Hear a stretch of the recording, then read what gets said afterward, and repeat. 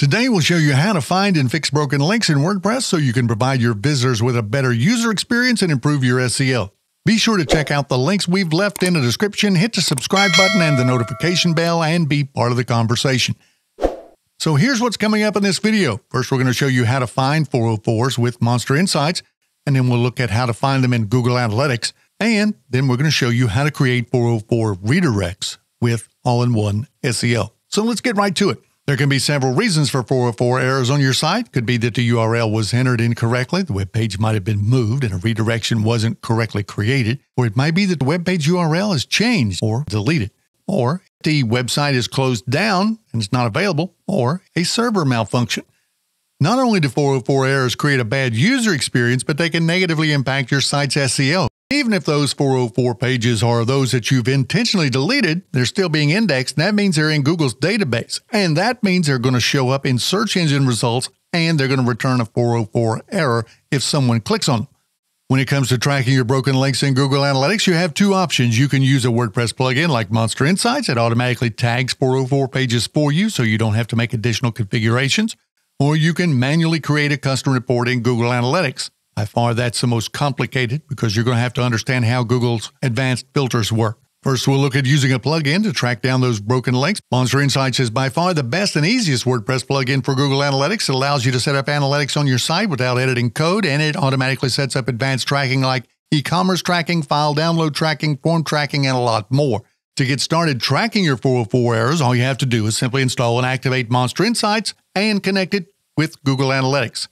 If you need help getting it set up, be sure to visit the link in the description below. And that's it. Monster Insights is now going to start tracking all of your broken links. Now, to find those 404 errors, all you need to do is log into your Google Analytics account and then go to Behavior.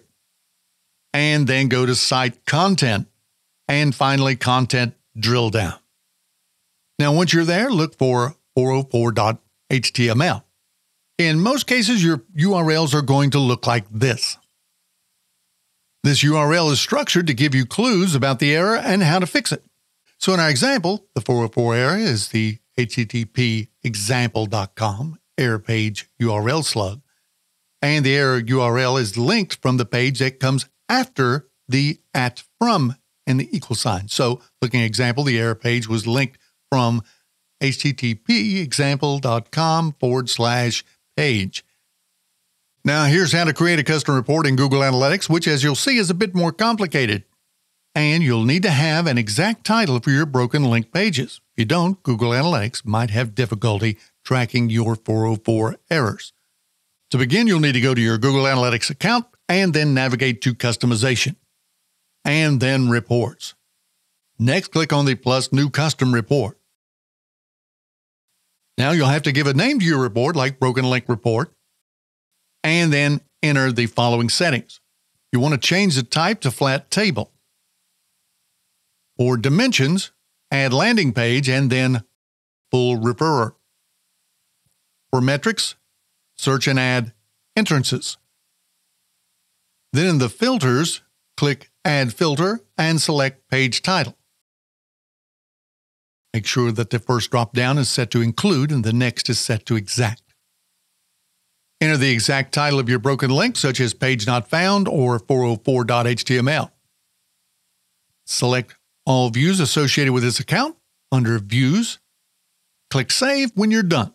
So you can use this info to go to the Broken Link source page and you'll want to look for additional characters or typos in your URL so you can fix them.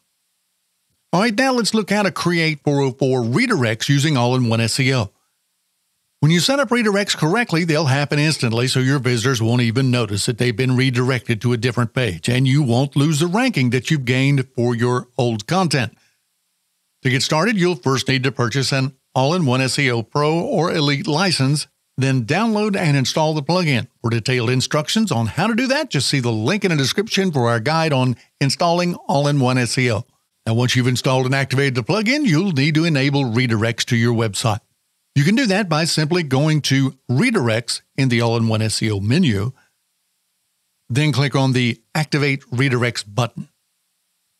Next, you'll need to enable your 404 log, so head over to Redirects and the Settings tab. Now scroll down until you see the Logs section.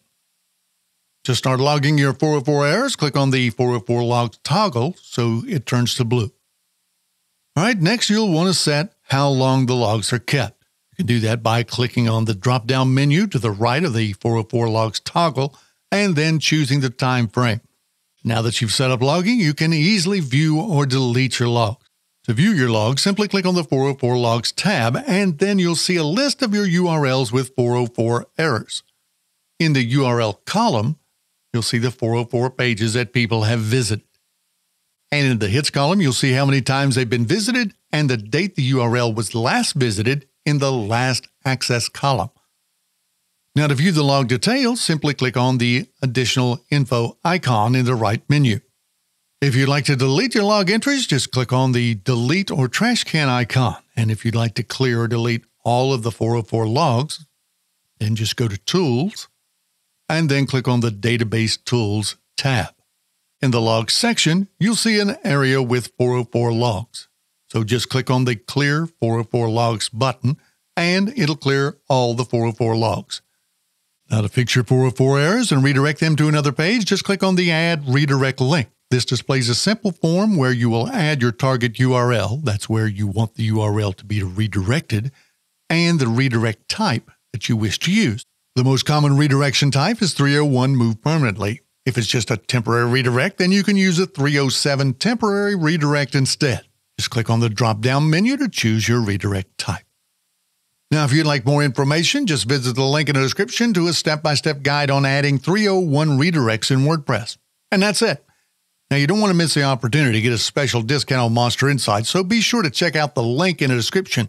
And to learn more Monster Insights tips, tricks, and techniques, just click on one of the videos on your screen now.